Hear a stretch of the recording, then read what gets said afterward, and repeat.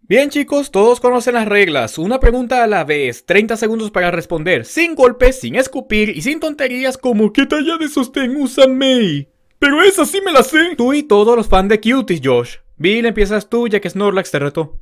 ¿Estás listo? ¡Y QC! Muy bien. ¿Cuáles fueron los primeros Pokémon en aparecer en el anime? ¡Ja! ¿En serio, Bill? ¿Crees que comencé en la época de Sol y Luna? Hasta un niño de preescolar lo sabría. Pues un niño de preescolar no lloraría porque Ash ganó en Alola, así que responde la maldita pregunta. Gengar y Nidorino. ¿Cuál es el primer Pokémon adelantado que nos presentaron? ¡Ja! ¿Cuál es el Pokémon con nivel de amistad en cero, aparte de los legendarios al capturarlo? Boneri. ¿Cuáles Pokémon tenían mejor ratio de captura al usar una Luna Ball en la segunda generación? ¿Una pregunta trampa? ¿En serio? En la segunda generación, la Luna Ball estaba mal programada y la bonificación de captura era para Pokémon que podían evolucionar con un antiquemar, lo que le hacía una Pokéball inservible. ¿Cuál es el inicial de rojo? ¿En el manga o en Masters? Manga. Polvo azul. Oigan, yo. Yo tengo una buena. ¿Cuál es el Pokémon más compatible con los humanos? Ok gente, antes que se enojen y digan Te Dragon prometiste hacer video cada semana o cada cierto tiempo Mejor dicho, pensaste hacer videos diarios. Y yo la verdad contesto con que En serio intenté pero no pude. Los estudios, eh, la facultad me ha costado bastante. De hecho estos tres meses he estado muy ocupado. Pero por suerte ahora he logrado solucionar un poquito las cosas, no digo que bastante, pero un poquito he logrado solucionar.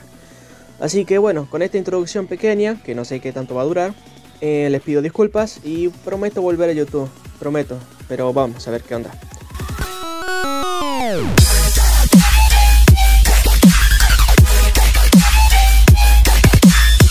Bueno gente, ¿cómo están? Después de tres lustros, o sea tres meses que he desaparecido, he decidido volver con este top particular. He decidido hacer un top de mis Pokémon favoritos de cada generación y ha costado, ha costado bastante. La primera generación tiene 151 Pokémon y me ha costado solo elegir 10, amigo, 10. He dejado afuera muchos Pokémon que la verdad amo, pero si tengo que elegir los 10 favoritos, mis 10 favoritos en este caso, son estos. Ojo, aviso desde ya, lo que están esperando que en algún punto si hago la parte de Yoto, Joen, etc. No van a esperar legendarios. Eso será un top aparte, un top de legendarios aparte.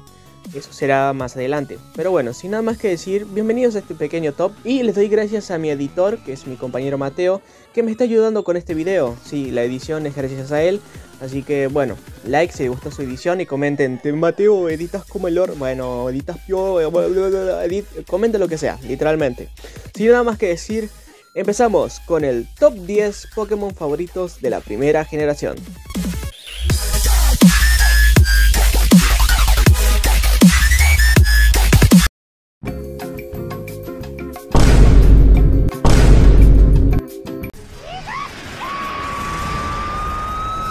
Hablar de Pidgeot es hablar de una de mis aves favoritas de todo, lo, de todo Pokémon. Primero principal, por un simple motivo. Bueno, dos motivos. Varios motivos. Bueno, ya en serio. Uno de los motivos fue que me enamoré del Pidgeot de Ash. La verdad que me pareció genial y me pareció un muy buen Pokémon. El diseño de Pidgeot me encanta. De por sí es muy lindo. Y es verdad, es primera generación, no se, van a, no se van a joder la mente con el diseño, pero la verdad es que quedó bastante bien. Y el otro motivo es en la aventura, literalmente. Pidgeot en la aventura es una muy buena opción si estás jugando a la primera generación. En especial si juegas verde hoja, porque ahí hay Pokémon que la verdad eh, no son tan buenos en tipo volador. Uno dirán que Dutrio o Fearow, pero Pidgeot es más fácil de entrenar y aparte, no sé, me gusta más. Los estas son bastante buenos, aprende buenos movimientos y en mi primera temporada de Pokémon Aventura Dragón me lo llevé a él. Así que sin nada más que decir gente, con ustedes el puesto número 10 se lo gana Pidgeot, un Pokémon que la verdad me gusta bastante y sinceramente, ¿por qué no le han dado una versión, no sé, una forma regional o algo más? No tengo idea. Bueno, tenemos la mega evolución, pero de ahí nada más. Nada más caballeros, Pidgeot se queda con el puesto número 10.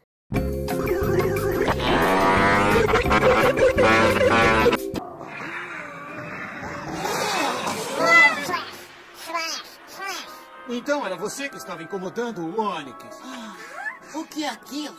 Sandlash, o Pokémon Rato. A forma evoluída do Sandshrew. Ele ataca os oponentes com os espinhos das suas costas. Ok, a muchos les va a sorprender, eh, imagino que sí, que ponga Sandslash por encima de Pidgeot. Y acá solo le diré una simple y jodida y tal vez rara razón por la que me gusta más Sandslash que Pidgeot. Es su diseño, no voy a mentir, su diseño me encanta. Es un pangolí erizo, lo que chingado sea ese pinche Pokémon, me encanta. Me encanta su diseño, de por sí Sandro me encanta también su diseño muy simple, pero Sandlash, bueno, se robó mi corazón. Eso sí, en el, juego no es ni de pedo la mejor opción. De hecho, hay mucho mejor opciones que Sandlash. Yo no lo llevaré en aventura ni en pedo. Pero en tema de diseño me gustó bastante. Y dirán, ay, pero te Dragon, eh, te, pones a Sandlash por encima de Picho solo por el diseño. Sí, no voy a mentir, me gusta mucho el diseño. En el anime no ha tenido mucha participación. Y de ahí no, no sé qué más decir. Me gustó que le agregaran una forma regional en Alola. La verdad que le queda muy bien. Ojo, ojo, más adelante top mejores formas regionales de cada, bueno, ya saben, cada región. Así que bueno, sin nada más que decir, Sunlight se queda con este puesto. La verdad que un Pokémon bastante interesante, muy único, digamos, en su diseño. Con un diseño que la verdad te atrapa y ahí, sinceramente, a la vez te aleja, pero más que nada te atrapa su diseño. Puesto número 9, se lo gana Sunslash.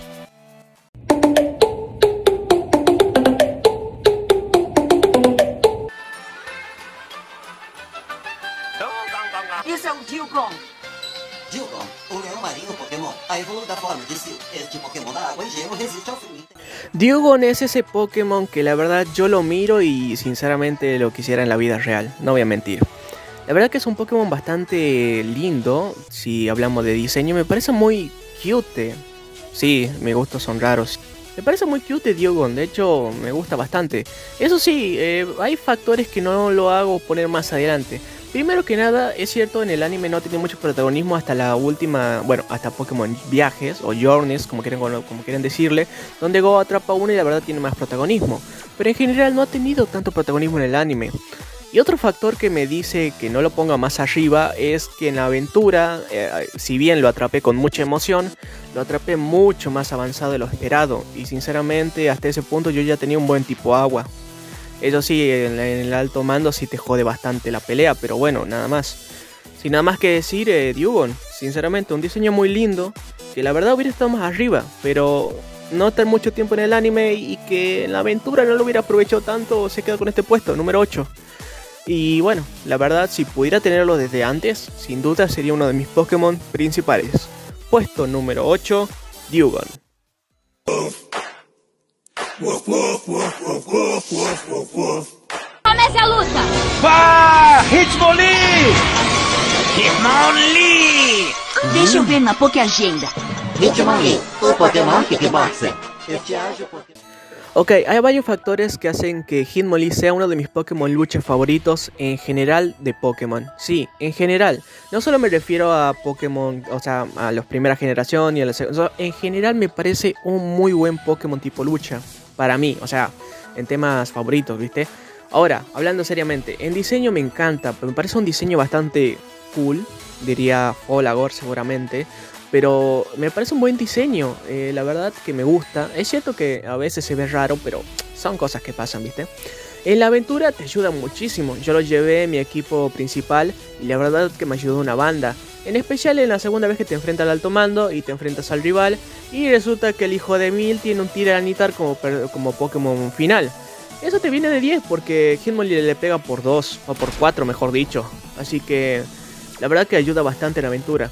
En sí, en la historia de Pokémon es cierto, Hitmonlee ha sido muy olvidado, demasiado diría yo.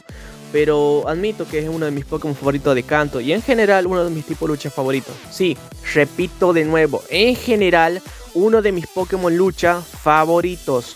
Sin nada más que decir, Hitmonlee se queda nada más y nada menos que con el puesto número 7. Un diseño increíble. Por cierto, postdata de paso, este, me hace acordar mucho Yuri Boyka, así que 10 mm, de 10. Y dato curioso, también le puse Boyka a mi Pokémon. Sí, en honor al peleador o al actor, mejor dicho. Nada más que decir.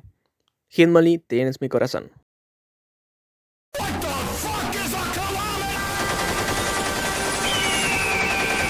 Now, Nidoking, stand by for battle! Nidoking, the drill Pokemon. One swing of its mighty tail can snap a telephone pole as if it were nothing but a matchstick. Ok, aquí estuve muy en duda por un simple motivo. No sabía quién escoger, si a Nido King o a Nido Queen.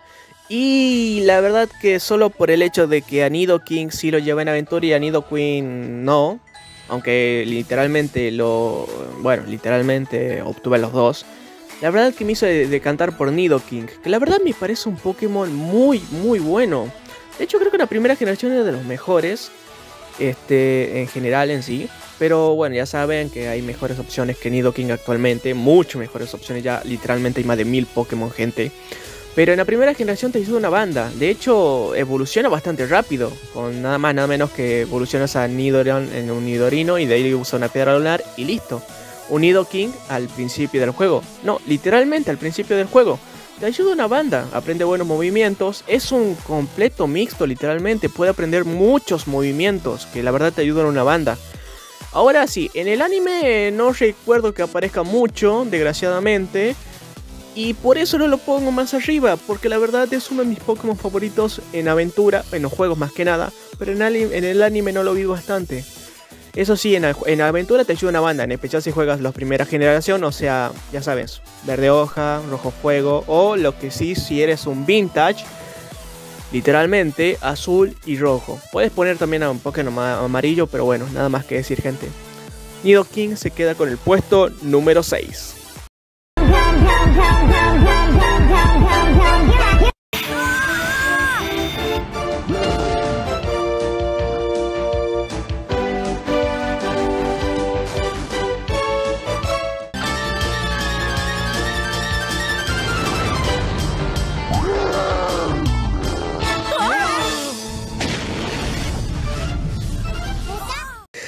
Charizard. Espera, ¿por qué siento que me están apuntando con un arma? Bueno, como iba diciendo, Charizard. Bueno, ya, ya, en serio. Charizard, chicos, Charizard. En el puesto número 5. Sí, sí. sé que me quieren quemar vivo y seguramente me quieran destruir el canal. Me quieran denunciar por, no sé, cosas horribles. Pero, pero, pero, pero, pero, pero, pero, tengo mis motivos. Tengo mis motivos. Primero y principal. En el anime, Charizard es God, literalmente. Charizard es God en el anime, uno de los mejores, de hecho. El Charizard de Ash, el Charizard de, ah, bueno, eh, Alan, creo que se llamaba el wey. El Charizard de Leonel, amigo. Charizard literalmente es top. Ahora, si nos vamos a los juegos de la primera generación, se van al choto todas estas, estas virtudes que estoy diciendo. Literalmente, elegir a Charizard es poner el modo difícil de Pokémon. Literalmente, no es broma. ¿Aprende buenos movimientos? Sí, pero aprende muy tarde, muy tarde los movimientos. En azul y rojo literalmente era tu peor opción para la aventura, por mucho. Y en verde hoja por lo menos le dieron un ataque interesante al bajo nivel, pero bueno, cuando es un Charmander para defenderse de ciertos Pokémon. Pero amigo, literalmente tu primer gimnasio es nada más y nada menos que un tipo roca y tu segundo gimnasio es un tipo agua y bueno, Charmander es débil por, por dos a los dos amigo, literalmente no sé qué estás haciendo, eh, literalmente no estás pensando bien las cosas. Desgraciadamente, eso evita que Charizard esté más arriba, que en el anime es God, literalmente es un dios en el anime, se cargó un Articuno, el hijo de su madre, pero en los juegos ni en pedo me lo llevo, literalmente ni en pedo me llevo de nuevo a Charizard porque yo ya lo hice y la verdad que fue un sufrimiento. Charizard se queda con el puesto número 5. Y me alargué más en este puesto porque literalmente tenía que explicar, antes que me empiecen a funar, por qué puse a Charizard en el puesto número 5. Let's go.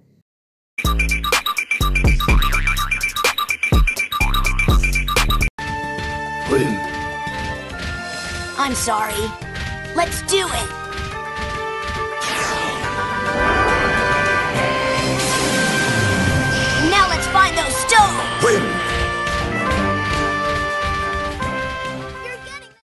Arcanine. Ahora sí me van a empezar a funar por poner a Arcanine por encima de Charizard, pero hay motivos, hay motivos. Primero y principal, dejemos algo en claro. Arcanine me parece que tiene un diseño muy bueno.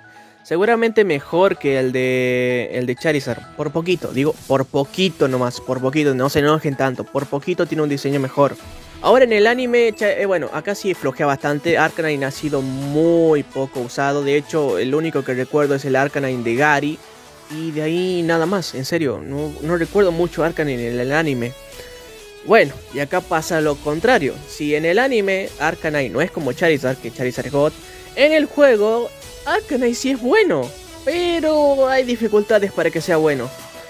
Y ese es el problema, por eso no lo pongo más arriba. De hecho, este estaba planeado para ser el top 2, pero pensándolo bien, literalmente tuve que pensarla bien. Arcanine es buenísimo, pero tienes que levelear a Growlithe a niveles altos hasta que recién aprenda lanza llamas y recién usar la piedra fuego y evolucionarlo. Porque Arcanine no, no aprende nada, no aprende ningún movimiento tipo fuego. Lo único que aprende por nivel es velocidad extrema, o sea, es buen movimiento, pero si esperas tener buenos movimientos, literalmente usa las MTs. Pero en serio, si quieres usar buenos movimientos con Arcanine, levelea a Growlithe primero y luego evolucionalo a Arcanine con la piedra fuego. Ah, nada más que decir, gente, nada más que decir. Arcanine se queda con el puesto número 4.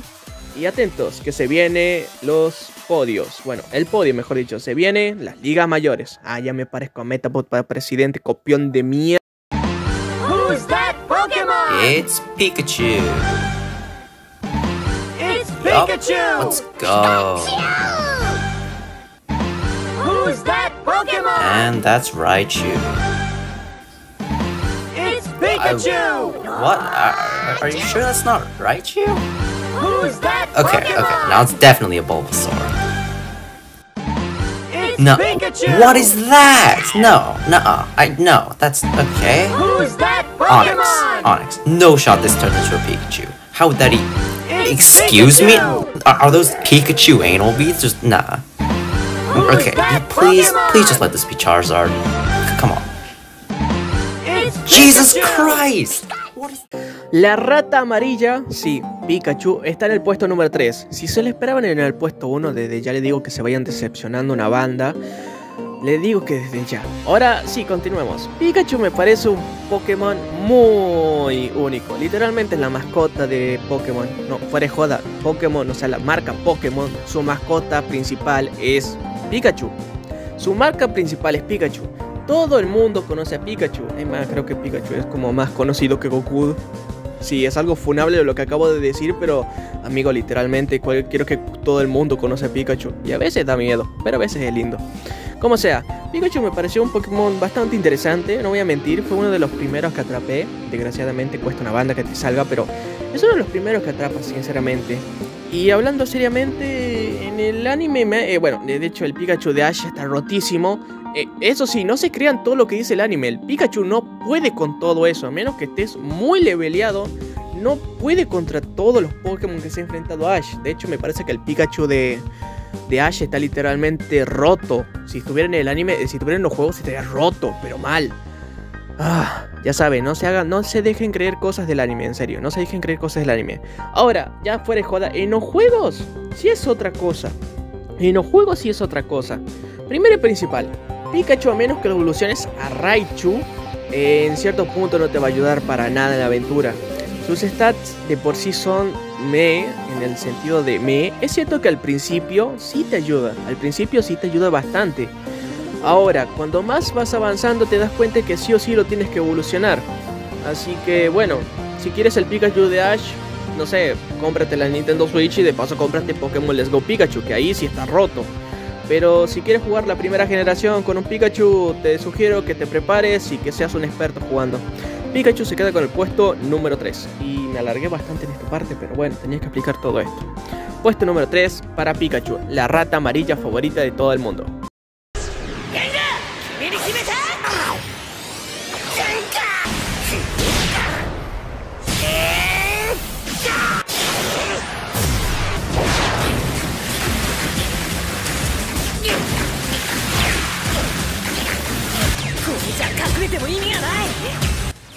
Puesto número 2 y acá tenemos al tipo fantasma, el único tipo fantasma de la primera generación para aclarar. O sea, sí, los únicos del tipo fantasma que, viene, eh, que hay en canto son Gasly, Hunter y el que ocupa este puesto, Gengar. Literalmente Gengar es uno de mis Pokémon favoritos. Es muy bueno el diseño, me gusta mucho el diseño en general de Gengar.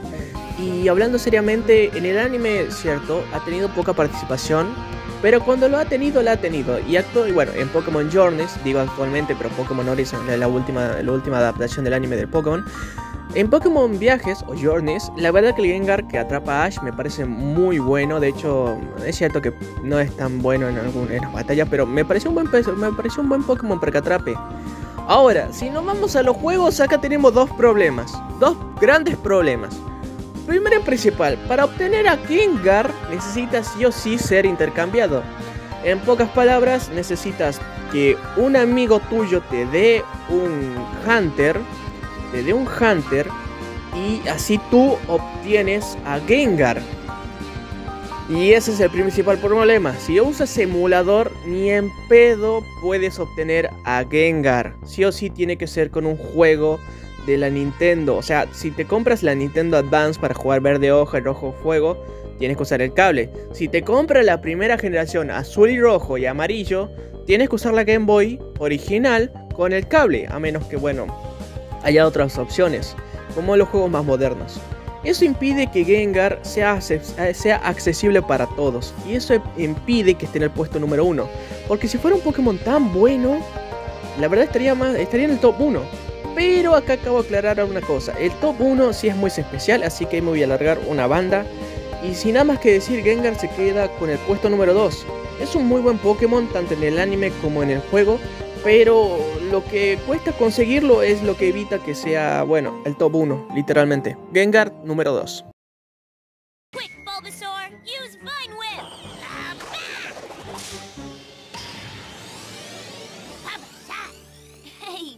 It was you. So good to see you. That was a great catch you made.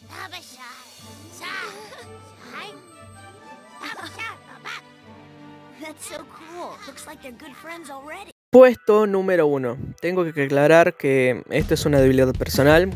Bulbasaur siempre será mi Pokémon favorito. De hecho, es uno de mis favoritos en general. De lo más de mil Pokémon que hay, sí, hay más de mil gente, si lo están escuchando bien, hay más de mil Pokémon. Bulbasaur es mi Pokémon favorito.